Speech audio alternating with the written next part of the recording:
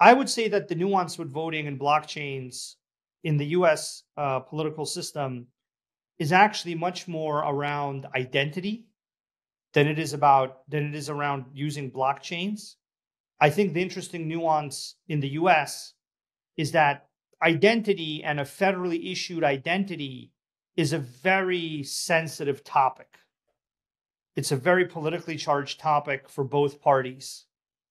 And so before you even process voting voter rolls, or before you confirm that a voter hasn't switched states and isn't voting twice, so they're not double spending their vote, and before you you you you have ways to guarantee proper node distribution to make sure that voting rolls aren't manipulated and and you know that that external state actors can't get in and manipulate them before you get into all those interesting questions your, your first question is is how are we going to create an identity layer for for someone to to prove their identity as a registered real voter?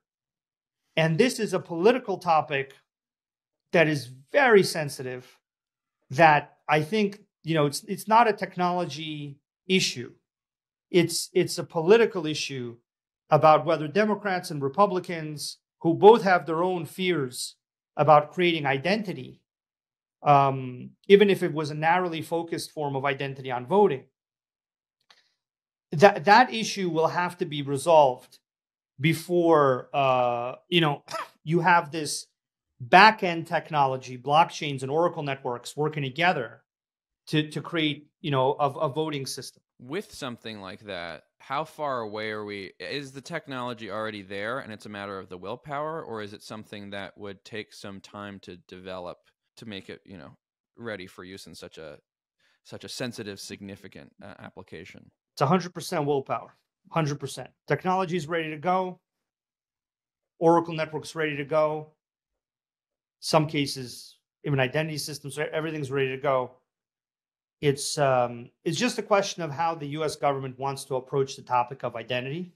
They want they, they, they want to approach the topic of identity for financial transactions in very specific ways how they want to approach the topic of identity for for voting is a very unresolved issue. And that's not an issue that a technology platform or standard or open source uh, way of doing something like identity can resolve. So we can absolutely provide the technology that would enable you know highly secure systems using blockchains and oracle networks to do things like log verification and other key you know cybersecurity activities we can absolutely enable the proper use of data and compliance on chain. And you know, voting is really just another type of on-chain data that would have to be synchronized across chains. Uh, so that that's something that can definitely be done.